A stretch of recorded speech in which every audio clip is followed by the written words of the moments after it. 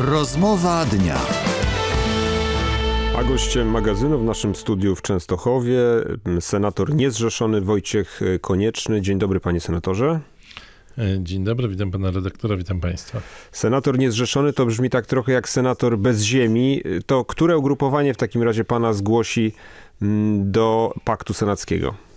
Panie redaktorze, no nie zgodzę się z takim określeniem. Jestem senatorem Polskiej Partii Socjalistycznej, e, więc e, jak najbardziej mm, jestem no, bardzo zadowolony, że mogę reprezentować taką piękną partię i te piękne tradycje. Także mm, jeśli chodzi o to, to nie czuję się bez ziemi, wręcz przeciwnie. No, ale to w takim razie będzie pan, no bo tam ma być jednoczenie w ramach e, lewicy, to pan będzie w takim razie zgłoszony przez lewicę? Znaczy to zjednoczenie w pewnym sensie się odbyło. Podpisaliśmy porozumienie, e, które e, przecież w tym tygodniu, które mówi o tym, że pójdziemy razem do wyborów parlamentarnych, do wyborów również samorządowych, więc jest to głębokie porozumienie sięgające E, właściwie można powiedzieć półtora roku od, od dzisiaj. I no, spodziewam się tego, że w różnych, e, w różnych miejscach e, przedstawiciele Polskiej Partii Socjalistycznej będą startować w wyborach. Ja tak planuję, tak na to wygląda, że będę startował rzeczywiście do Senatu i mam nadzieję, że w ramach Paktu Senackiego, ale jak wiemy, o y, personaliach to będą rozmowy później, y, prawdopodobnie za jakieś 2-3 miesiące i wtedy te rzeczy będą dogrywane. Tylko panie senatorze, tu jest to kluczowe pytanie, bo takie mm, mm, można powiedzieć parytety już zostały zarysowane w publikacji Gazety Wyborczej i Polska Agencja Prasowa też o tym pisała, że to ma, no, w ramach tego paktu senackiego te cztery ugrupowania główne, wiodące liczą na te cztery bloki, na, będąc precyzyjnym, liczą na około 65 miejsc y, biorących y, w Senacie, no i z tego 40 miałoby przypaść dla Koalicji Obywatelskiej, dla Lewicy tak mniej więcej 6-8. Czy pan w ramach tych 6-8 miejsc biorących będzie? Panie redaktorze, y, po pierwsze to jest to optymistyczne stwierdzenie, że będzie 65 miejsc i uważam, że wynik 60 senatorów z obecnego Paktu Senackiego w przyszłym Senacie to będzie już również dobry wynik i, i tak to oceniam. Natomiast e, co do tego, mm, kto ma gdzie startować, e, no są również takie zapewnienia czy takie uzgodnienia w ramach tej, tej czwórki, która się dogadywała, że senatorowie, którzy obecnie stanowią tą większość od początku kadencji, czyli tych 51 senatorów, którzy no nie ulegli e, różnym naciskom i innym e, pracom nad nami, aby tą e, jedność rozbić tej, tej części rządzącej Senatem, że oni będą mieli pierwszeństwo w, w starcie. Po drugie, jest, uważam bardzo ważne też no, takie stwierdzenie, że senatorowie, którzy pokonali dotychczasowych senatorów Prawa i Sprawiedliwości w wyborach w 2019 roku, no ci senatorowie są sprawdzeni i mm, też uważam, że, że mocno należy się zastanowić, czy, e, czy tutaj coś zmieniać. E, no w przypadku moim akurat taka sytuacja zaistniała, że e, wcześniej senatorem był senator z Prawa i Sprawiedliwości w naszym okręgu. No i mm, takie różne no, sygnały, znaki, to, że wszystkim zależy na zwycięstwie, wskazują na to, że wielu senatorów, y, którzy obecnie są senatorami, mm, będzie pewnie E, startować i miejmy nadzieję skutecznie i będą senatorami w następnej kadencji. Panie senatorze, tak podsumowując to, to, do czego doszło też w Polskiej Partii Socjalistycznej i w tym kole, które funkcjonowało, to rozumiem, że było tak. Pan jest człowiekiem lewicy i chciał się pan jednoczyć z lewicą, no a koledzy okazali się no można powiedzieć, kretami, którzy, które wcale nie, nie chciały realizować haseł lewicowych, tylko dążyły i dążą w kierunku koalicji obywatelskiej. Tak? O to chodzi? No ja bym takich y, stwierdzeń nie używał. To, to są osoby, to są posłowie i pani senator, y, które y, no, uczestniczyły w tych pracach naszych, które były w kole parlamentarnym PPS-u. Uważam, to o, o co to, poszło? Że to najpiękniejszy okres w ich życiu był.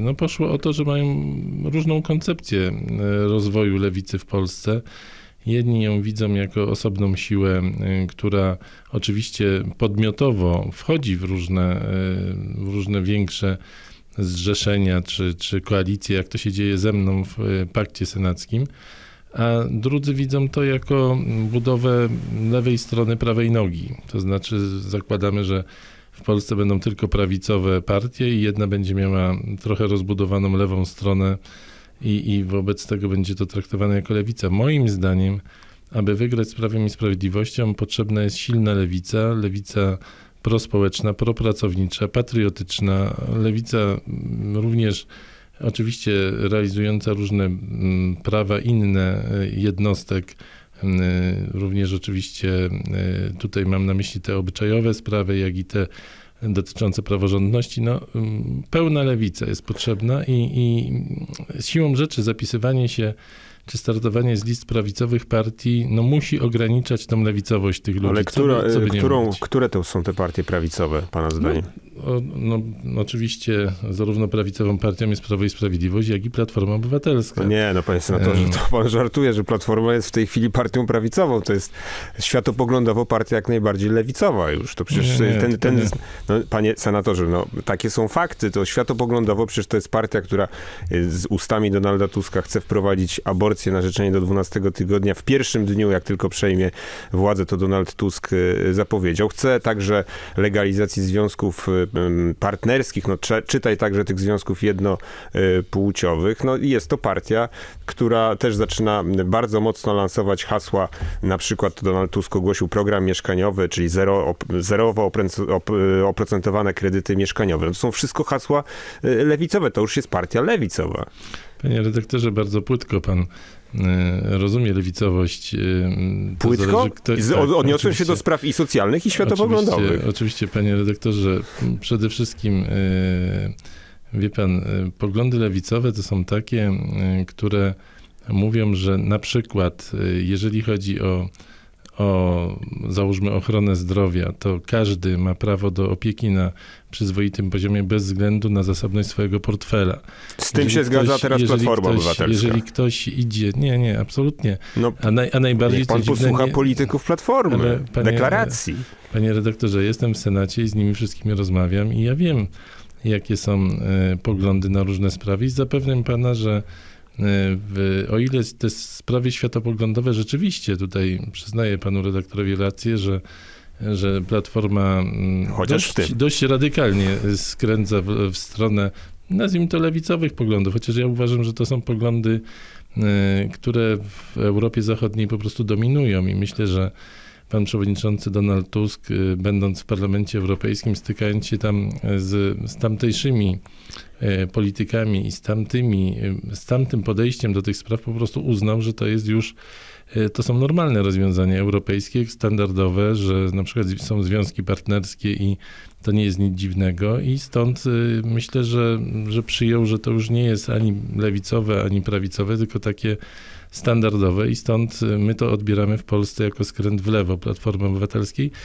Ale zaręczam, że na przykład ten program mieszkaniowy, o którym pan mówi, że jest też lewicowy, on wcale nie jest taki lewicowy, dlatego że on zakłada to, że owszem, będzie zerowe oprocentowanie kredytów, ale te kredyty będą, one będą, ich ceny będą rosły, ponieważ jeżeli państwo będzie spłacać te odsetki, to zaręczam panu, że skorzystają na tym banki i deweloperzy, i niestety to w tą stronę pójdzie. Lewica ma inny pomysł na, na rozwój mieszkalnictwa. Uważamy, że państwo po prostu powinno się zaangażować w budowę mieszkań, aby podaż mieszkań była większa, aby ich ceny musiały spadać, ponieważ no nie trzeba będzie kupować drogich mieszkań od deweloperów, tylko będzie można to czynić czy to spółdzielczo, czy w inny sposób i, i, będzie to po prostu taka alternatywa, która nie pozwoli na niekontrolowany wzrost cen, który obserwujemy w Polsce przecież od dziesięcioleci, więc y, no Panie no senatorze... będziemy się pewnie spierać w tym, okay, w tym zakresie. To tutaj jest y, spór zarysowany w sposób czytelny. Chciałem pana jeszcze zapytać, bo no, zaczęła się dyskusja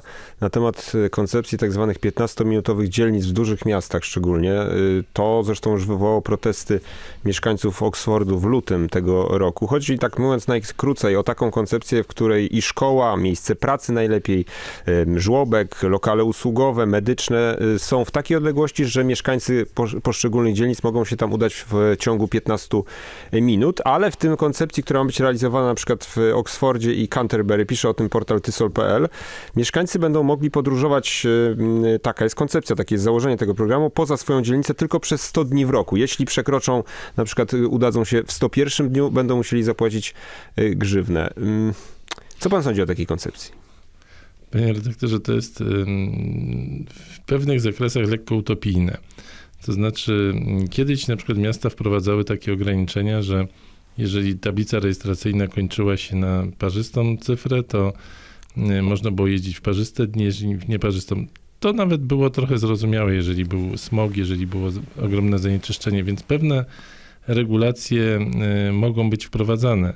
Natomiast y, to by zakładało w pewnym sensie no, ograniczenia praw tych ludzi, więc ograniczenia demokracji. Polska Partia Socjalistyczna jako partia bardzo głęboko e, demokratyczna i uznająca no, prymat człowieka nad kapitałem, nad różnymi innymi czynnikami, no, nie będzie zwolennikiem aż takich radykalnych e, rozwiązań, chyba, że ludzie, którzy tam mieszkają, tak będą chcieli. Ale odnotowuję, patrząc... panie senatorze, odnotowuję pana deklarację, bo musimy kończyć, natomiast tu już panu też powiem, że też będzie spór, bo Rafałowi Trzaskowskiemu koncepcja 15-minutowych dzielnic się ale panie podoba. redaktorze, patrząc praktycznie... I puenta, to, panie senatorze, musimy kończyć? Praktycznie jest to bardzo trudne do zrealizowania. Praktycznie, nie mówię teoretycznie. Senator niezrzeszony Wojciech Konieczny był gościem magazynu. Bardzo dziękuję. Dziękuję bardzo. Była to rozmowa dnia. Udostępni ją portal informacyjny polskieradio.pl.